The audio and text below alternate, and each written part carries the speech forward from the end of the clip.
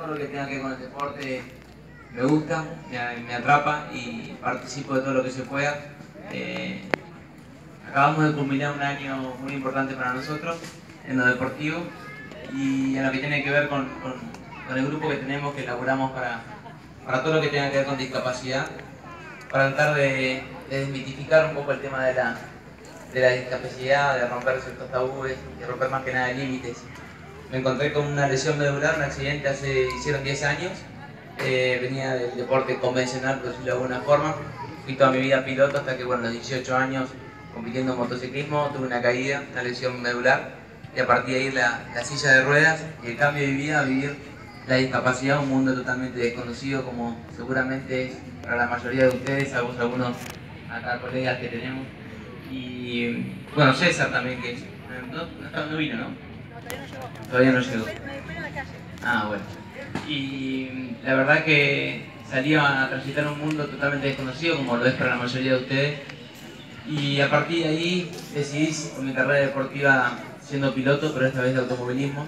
Se me encontraron muchísimas puertas cerradas y trabas para poder lograrlo y a partir de ahí tener la posibilidad de empezar a armar cuanto deporte quise mi capacidad para romper ciertos límites y lograr ser aceptado mi lucha y mi convencimiento está en tratar de que la discapacidad forme parte de lo convencional, que podamos llegar a la igualdad desde ahí, que podamos llegar a la integración desde ahí, peleando de igual a igual, porque la discapacidad no es mala, con la discapacidad se vive, se convive, y hay que dejar de ser bichos raros, ¿no? Si bien hay infinita cantidad de discapacidades y demás, hay muchísimo que tenemos las posibilidades, hablando de lo que me compete, que es la silla de ruedas, las posibilidades de salir a transitar en el mundo y cambiarlos de ese lugar, ¿no? Mostrar y decir acá estamos, para dejar, como decía anteriormente, dejar de ser bichos raros, romper ciertos límites. Parece que con la discapacidad parece que tenemos una tabla que tenemos estipulada y decir, bueno, vos que te falta una gamba, bueno, puedes hacer tal cosa, vos no ves, puedes hacer tal otra, vos no caminás, tenés una lesión medular alta, baja, haces esto. Y no, la verdad que cada uno se puede desarrollar en el ámbito que realmente tenga ganas. A mí se me dio por continuar con el deporte, hay otros rengos, como decimos entre nosotros, que son excelentes abogados, otros que bueno, excelentes diplomáticos, cada uno, otros son como Alexis Padovani, excelentes músicos, cada uno puede desarrollarse en el ámbito que realmente tenga ganas y eso es lo importante, que cada uno salga atrás de los sueños, que se consulte si hoy está en el lugar donde quiere estar mañana y poder pelear un poco todo eso, ¿no? Tratar de que la discapacidad no sea un obstáculo en lo más mínimo y particularmente debo decir que tuve la posibilidad de vivir las dos vidas, la vida del discapacitado y la vida del convencional y me quedo mil veces con esta vida, la posibilidad de de estar en un desafío constante, la posibilidad de estar en un enfrentamiento constante, en la posibilidad de pelear de igual a igual. Debemos ser incluidos al margen de que existan deportes adaptados, que me parece magnífico y demás. Debemos dejar de hablar de inclusión e integración, pero debemos hacer un poco más.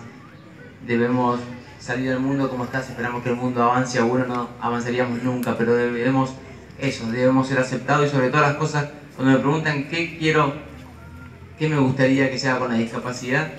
Simplemente que se confíe, que se confíe, que las personas puedan confiar que las personas con discapacidad pueden desarrollarse en el ámbito que realmente tengan ganas, con esfuerzo, con dedicación, entrenando si es el deporte, pero que las posibilidades están y hay que ir en busca de eso, no hay que romper ciertos límites y a partir de eso laburamos y con eso laburamos, ¿no? Para, sobre todo para trabajar con personas con discapacidad en saber que están viviendo un mundo que no todos tienen la posibilidad de vivirlo y hay que aprovecharlo. Y eso es un plus, que debemos unirnos todos para salir en busca de eso. Y las personas normales, como se dice, ¿no? mal llamadas, pero entender que, la, que acá no tenés clase social, sexo, religión, edad, color de que te exima de que algo te pueda llegar a suceder. Si eso sucede, hay continuidad, ¿no? No se termina el mundo con la discapacidad, ni por estar en una silla de ruedas, ni nada. Así que participar siempre de cuanta cosa sea y déjame agradecer de nuevo por, la invitación y bueno, podríamos estar horas, ¿no? Eh, ahí lo veo Gustavo Ardier, que ha participado de charlas nuestras que son realmente muy extensas, pero bueno, ahora no, a entrar en calor y alargar, ¿no? Ya se larga, así que... ¿Eh? ¿eh?